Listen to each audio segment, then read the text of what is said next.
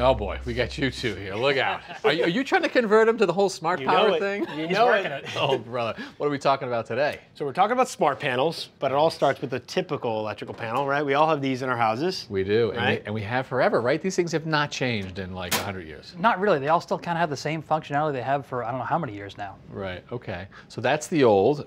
And so this is the new.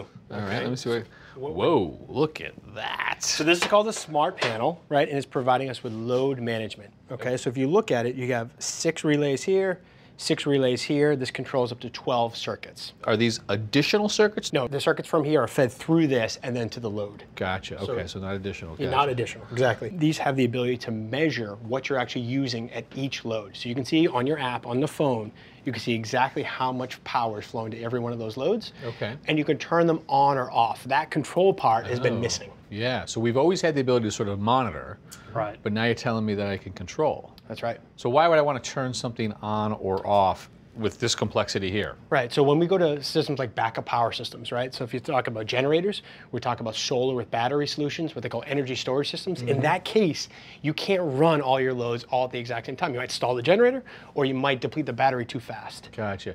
So Heath, when we've installed backup generators um, and it's not been big enough to power the whole house, Sure. you guys have had to sort of pick five or six critical circuits, wire them over to another box, and say when the generator kicks in, Yeah. that box is controlled, everything else goes dark. Exactly. The old school was putting in a small generator panel that's specific to those circuits. You'd pick those, you'd turn the generator on, that was it.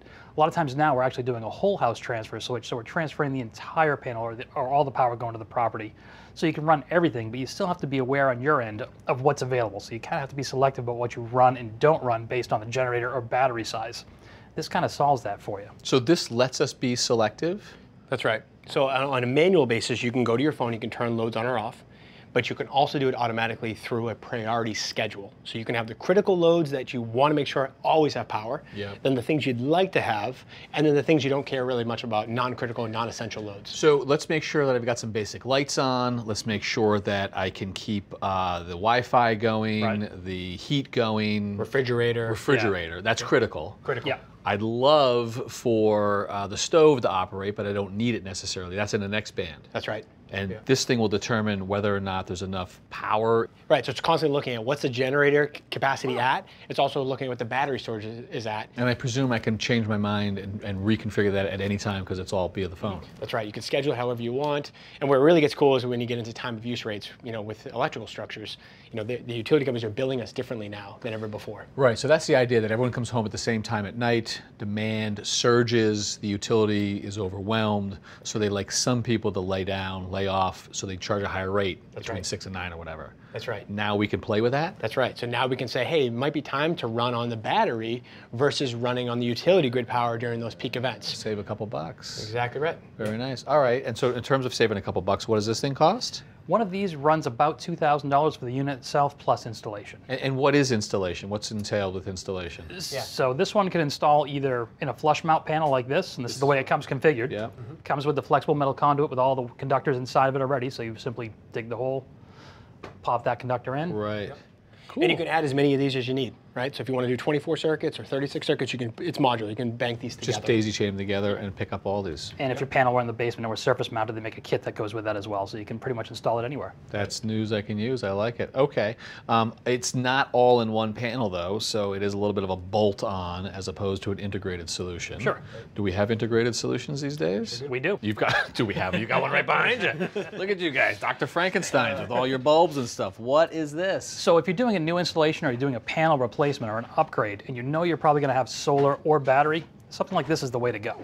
So all of the smarts that are over there are included in here? those are already kind of built into the background of this panel. So this panel wires like a conventional panel would. You'd still bring utility power in, you'd have your battery down here, your solar over here, and your regular loads like the kitchen lights, the refrigerator, etc. Wires conventionally. But it also has all of the smart technology behind it built in and done ready to go. Same functionality, so I can measure. Right. So you can pull it up on the app, Uh, real electric time. dryer, refrigerator, HVAC, and kitchen lights. Kitchen lights, refrigerator, all those. All those are active right now. Ah, right, we're on utility power. 77 kilowatts, 1200 kilowatt. Ah, okay. Yeah, gotcha. All right, but we can kill utility power, and on the fly, it can drop out those non-essential loads we talked about. So if this were to get shut off right here, Can I shut it off? Absolutely. This is not gonna. You guys aren't gonna kill me, are you? so this is a power outage. That's power outage. And there it is. Oh, because you told it just turn that off. So that's a non-critical load. It takes about a half a second for it to shed those loads. With being on battery, you have what, roughly a 20 to 30 millisecond Milliseconds. transfer time, so you don't really notice lights blink, clocks don't go out. So I it's a pretty, pretty seamless transfer. Right. So you can see on the app that oh. the load dropped out, right? The electric dryer dropped out, Gotcha. right? And but the rest of the loads are active. Mm.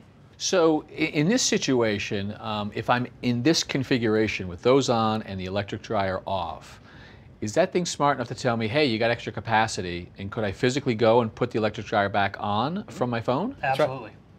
Absolutely. Yep. Really? Go to the app. You can turn it on manually. You can bring it to a priority load, and you can move it up in terms of that, you know, scheduling. Yeah. Um, you and it could also be smart enough to say, hey, I want it to run when the battery is above, let's say, 50% capacity. I want to bring those loads that I like to have. I want to actually make them, you know, come on. Yeah, Gotcha. you get re- real-time information the whole time, so you know how much battery life is left, what you're really using. You can choose what you want to run.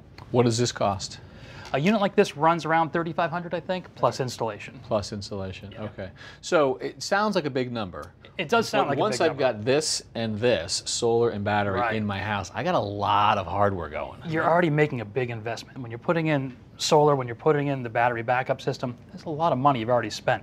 You might as well optimize it the best you can with something like this and really make it worth your while. So rather than maximizing the system, optimize the system. Right. I mean, you could add more solar, you can add more battery storage, or we can consume the loads more effectively, right, and consume mm. less. So it's a balancing act, mm. right? And so if you want to put on the right amount of solar and the right battery storage at a good value, and you want to optimize your load consumption, this is the way to do it. Is this the future? I think this is definitely the future. We- We're doing more and more houses that are going to be having the solar and the battery in them.